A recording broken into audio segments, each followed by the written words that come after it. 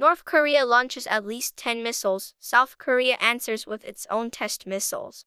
North Korea on Wednesday fired about a dozen missiles in the direction of South Korea, and at least one landed near the rival's 10th sea border. South Korea retaliated by firing its own test missiles. The launches came hours after North Korea threatened to use nuclear weapons to get the U.S.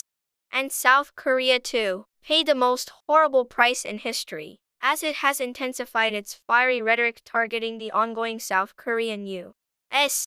military drills that it views as an invasion rehearsal.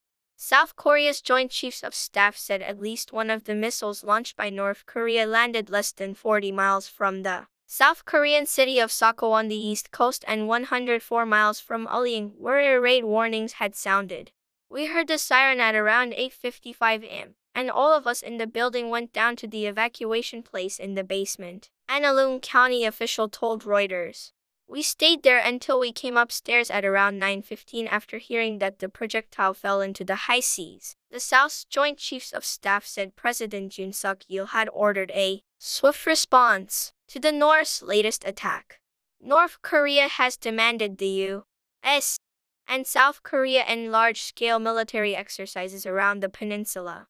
This was the first time a North Korean ballistic missile had landed near South Korean waters. According to the South's Joint Chiefs of Staff, our military can never tolerate this kind of North Korea's provocative act and will strictly and firmly respond under close South Korea U.S. cooperation, South Korea's Joint Chiefs of Staff said in a news release. The U.S.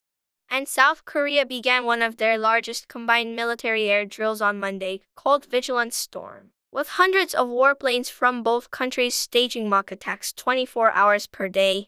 North Korea has already test fired a record number of missiles this year.